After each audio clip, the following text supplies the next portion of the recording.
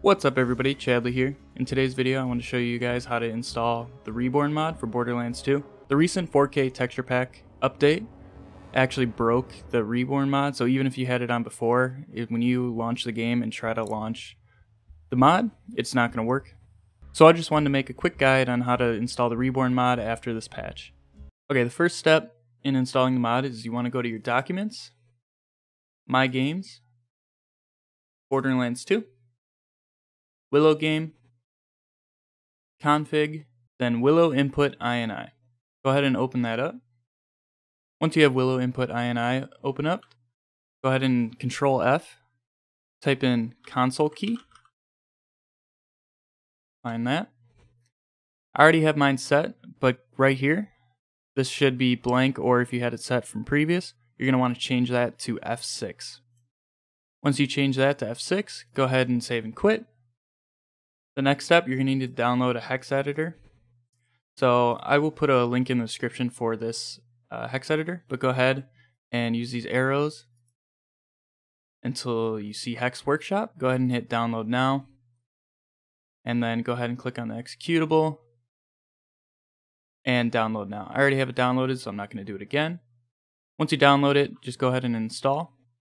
Once you have your hex editor installed, go ahead and navigate to your program files, x86, go down to Steam, Steam Apps, Common, Borderlands 2, Binaries, Win32, and then find your Borderlands2.exe file. Go ahead and right click that and hex edit with Hex Workshop. Once you're in here, you're going to want to Control F. And then on the screen now, I'm going to put numbers that you're going to put into this value bar and hit find. And then I will also put numbers on the screen what you need to change those values to. Once you replace those numbers, go ahead and Control F again. I'm going to put a new set of numbers up on the screen and what to change them to.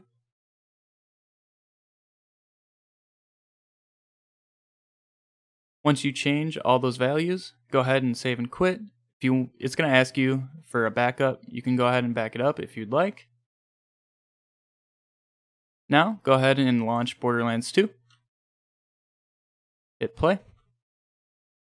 Okay, once you have Borderlands launched up, go ahead and hit F6, bring up your console commands, and then you're going to type in exec BL2 reborn uh, .txt. Go ahead and hit enter. This is going to launch the reborn mod. You go ahead and close that out. That text will let you know that it's working. If you found this video helpful, go ahead and hit the thumbs up button. If you want to see more Borderlands 2 content, go ahead and hit subscribe. I'm Chadly, and thank you all for watching.